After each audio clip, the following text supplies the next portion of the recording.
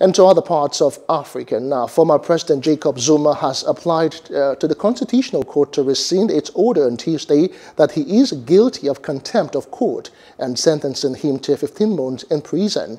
He has also made an urgent application to the High Court to stay the orders that required him to turn himself in by Sunday or be arrested and to interdict the police from arresting him pending his rescission application to the Constitutional Court.